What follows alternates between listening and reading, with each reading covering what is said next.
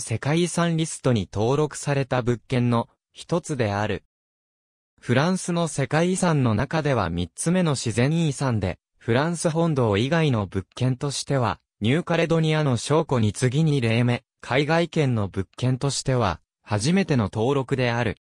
登録範囲は、2007年に設定された、レユニオン国立公園の中心部分に該当し、島の面積の約40%に該当している。登録にあたっては、尖り切先、建国、絶壁が形成する独特の地形を織りなす、自然美と、特筆すべき植生の多様性が評価された。レユニオンは、インド洋南西部に位置するフランスの海外圏で、マダガスカル島から 800km、南海域線の北 200km に位置している。火山活動によって島が誕生したのは約300万年前のことで、面積は2500平方キロメートルである。世界遺産はその名の通り、2つの火山と3つの建国から構成されている。島には異なる時期に形成された2つの火山が存在する。ピトンデネージュはレユニオン島の最高峰である。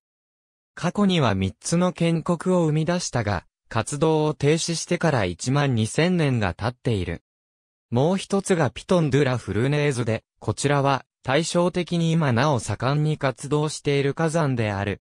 地球上で最も活発な火山の一つで、世界遺産に登録された2010年にも1月に噴火した。標高は2631メートルだが、その火口で目に見えているのは一部分で、稼働の海底からの高さは6000メートルにもなる。2017年1月にも噴火が発生している。マファト建国は、上流から下流へと整然と並ぶ巨大な稜線が特色である。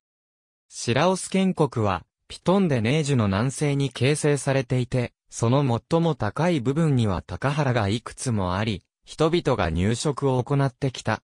サラジー建国のあたりには、豪雨が降り、これが断崖を流れ落ちる数えきれない滝を生み出し、絶景を呈している。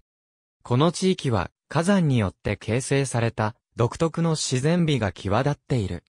その結果、この世界遺産は世界遺産登録基準のうち以下の条件を満たし登録された。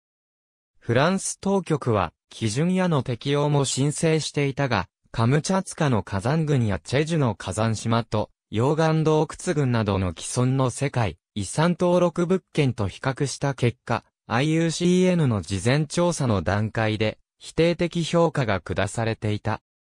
登録名のロンパルは一般に城壁、防御に役立つものなどの意味であるが、この場合は現地で高さ1000メートルの直線的あるいは曲線的な絶壁を指す通称として用いられているという。